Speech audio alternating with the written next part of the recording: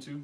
Zeus here again, bringing you guys another video as I almost dropped the SAPI plate on the floor. Um, in today's video, I just want to do a little bit of an overview, uh, kind of review my thoughts on the PTS uh, dummy SAPI plates. Now, these are probably, in my opinion, the best dummy SAPI plate if you're just going for shape because of the fact that the weight is so light and uh, just the material, um, they bend. Um, so, you know, if you're going prone or something, you don't have that hard plastic cutting into your body or anything like that. With other Replica SAPI plates, um, I've had a problem with that in the past. And uh, this kind of eliminates that whole uh, little issue. Um, these, like I said, are obviously made by PTS. Uh, they come in large, which are the ones that I have, medium and small. So if you're a smaller guy, you know, uh, normal set guy, or um, I'm six foot, about 245 pounds, so I went the large, and as you can see, uh, fits me just perfectly like it should. So that's the one I went with.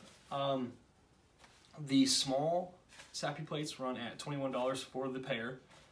Uh, the medium 25 and then the large are 30 for the pair. So overall, it's really not that bad of a price. And like I said, you're getting a good quality product.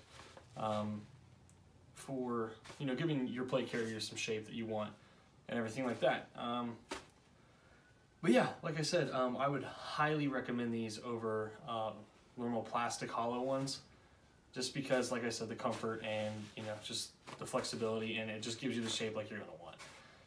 Um, but yeah, guys, uh, you can find these on eBike. That's where uh, I purchased mine, or anywhere else, pretty much that sells um, airsoft gear, I would assume that they would have these in stock, Airsoft GI and uh, things like that.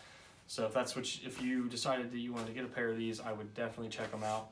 And um, yeah, guys, um, that's pretty much all I wanted to make the video on. Just wanted to give it a quick little video and uh, give my thoughts and let you guys know that I give these a thumbs up. And I would highly recommend them if you're looking for some plates to put in your play carrier.